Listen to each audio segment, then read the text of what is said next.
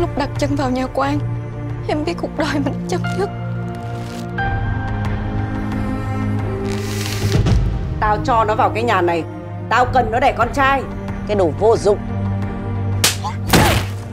Em không dám mơ đến hạnh phúc nữa.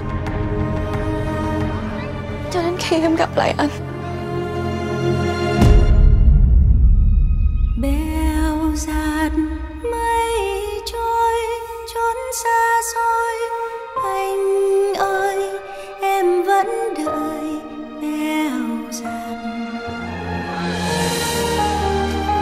Anh muốn lúc nào cũng có em ở bên cạnh.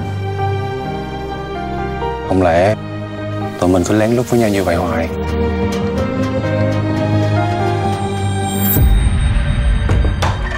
Anh đã làm gì sai hả? Anh không sai Nhưng em mắc kẹt trong cái nhà này.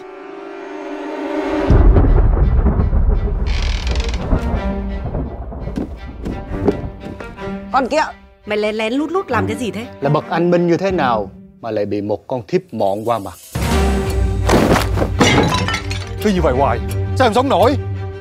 Vậy mà con Mũng người làm của nhà quan Nó là từng thấy anh bước ra Từ phòng riêng của bà ba. Tao mà biết được Tao chôn sống cả nhà Chỉ cần vượt qua lần này nữa thôi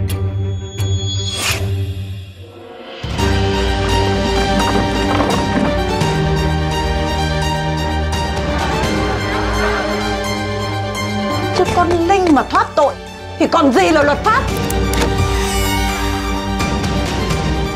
Mạng nó hay mạng mình? Em chọn đi. Nó chạy hướng này. Hạng hoang dâm vô độ đó Cứ phải dìm xuống hồ